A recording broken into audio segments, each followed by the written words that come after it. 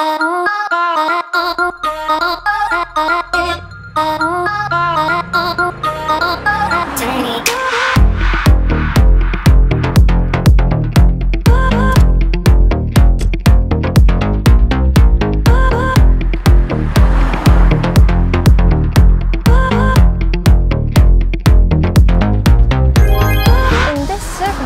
amazing to drive because I feel very comfort, no noise and vibration.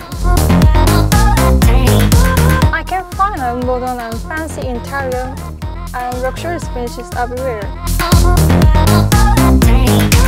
Shifting manual transmission on this car is much softer than my platform. Speeding and passing is wonderful. The power is still enough because of maximum torque on low RPM. The specification levels are the highest is possible.